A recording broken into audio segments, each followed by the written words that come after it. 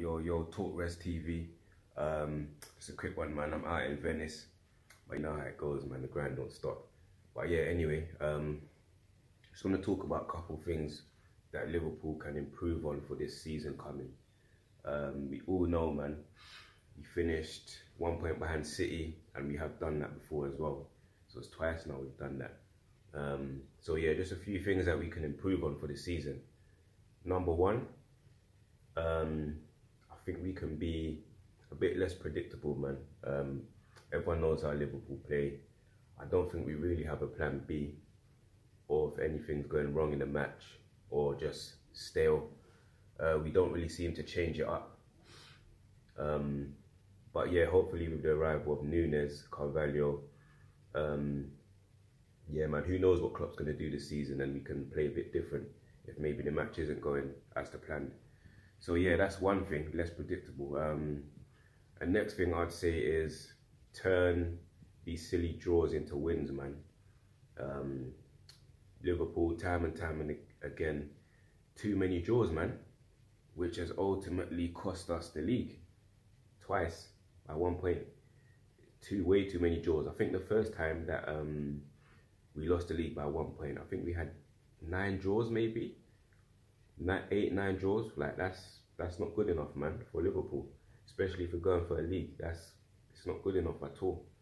So yeah, definitely turn those draws into wins, man.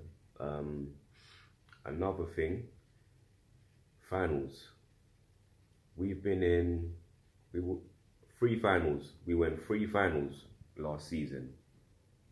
We struggled to score goals against Chelsea. I believe we went to penalties twice um, without scoring a goal.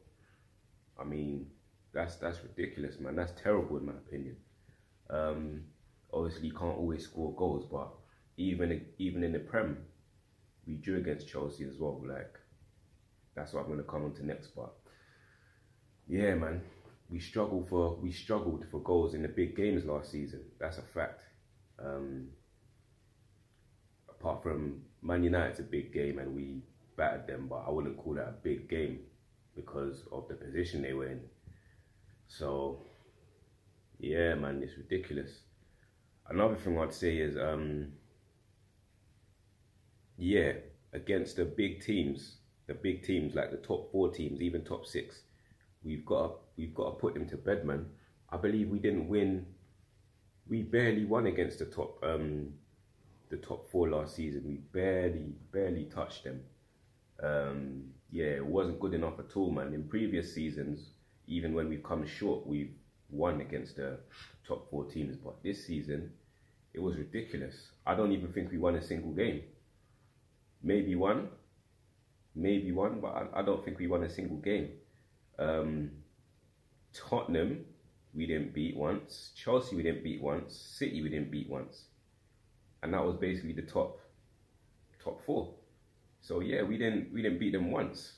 Ultimately, we didn't win the prem. So we got to improve on that, man. Thousand percent, we got to improve on that. Um, yeah, man, those are the only things I can think of right now. We scored a bag of goals in general. We scored loads of goals. Um, I think only City scored more than us. But yeah, we scored loads. Our defense was okay. Um, yeah, by our standards, our defence was okay, considering Van Dijk had just come back from that long-term injury um, that kept him out for the season. But yeah, man, we just need to finish our dinner in the big games, really. And yeah, all those draws turn them into wins, man. That's what I think we need to improve on this season, man. You guys, let me know what you think in the comments. Um, yeah, man, catch me on the next video.